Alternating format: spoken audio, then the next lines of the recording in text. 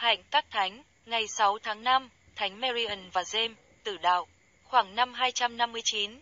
Thường thì khó tìm được nhiều chi tiết về đời sống của các thánh thời giáo hội sơ khai. Những gì chúng ta biết về các thánh tử đạo hồi thế kỷ 3 mà chúng ta kính nhớ hôm nay cũng rất ít. Nhưng chúng ta biết rằng các ngài đã sống và đã chết vì đức tin.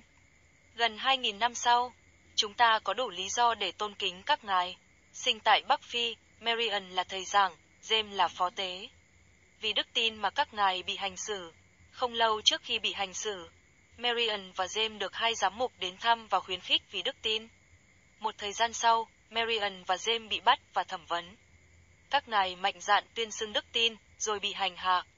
Ở trong tù, các ngài thấy thị kiến, một trong hai vị giám mục kia cũng có thị kiến.